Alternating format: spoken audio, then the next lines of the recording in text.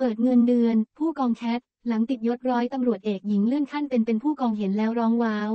เงินเดือนไม่ธรรมดา เรียกได้ว่าเป็นนักร้องลูกทุ่งสาวดีกรีนางงามอย่าง แคท อาทิตยาเบญจปัก ที่เธอนั้นมีบทบาทเป็นทั้งนักร้อง นางงามและข้าราชการตำรวจ โดยก่อนหน้านี้ย้อนกลับไปเมื่อปีหนึ่ง กันยายน 2564 สาวแคท เพิ่งจะทำให้ครอบครัวได้ภาคภูมิใจไปไม่นาน หลังเจ้าตัวได้ติดยศ ร้อยตำรวจตรีหญิงเป็นหมวดแคทไปหมาดหมาด ต่อมาเธอได้แจ้งข่าวดีอีกครั้งว่า เธอได้เลื่อนยศเป็นร้อยตำรวจเอกหญิงประดับดาวสามดวงบนบ่าเป็น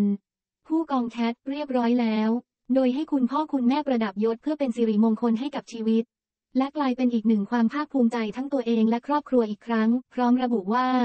เป็นผู้กองแล้วนะว่าที่ร้อยตำรวจเอกหญิงอาทิตยาเบญจปักให้คุณพ่อคุณแม่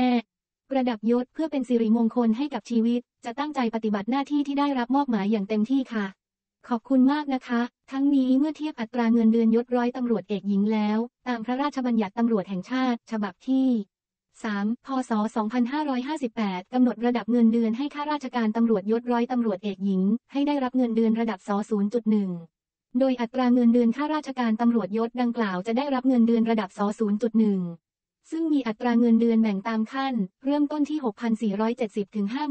54,820 บาท ดังนั้น หากเทียบอัตราเงินเดือนในยศแล้ว ผู้กองแคทจะอยู่ที่ท่วงตั้งแต่ 6,470 ถึง 54,820 บาทนั่นเอง